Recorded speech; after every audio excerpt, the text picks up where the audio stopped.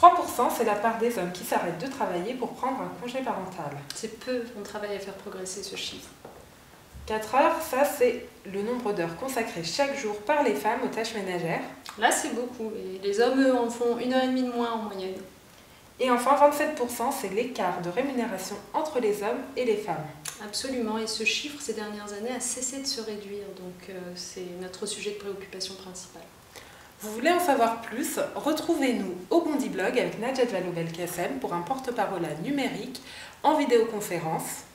Ce sera le 6 septembre à 18h. Ça portera sur la génération de l'égalité entre les femmes et les hommes.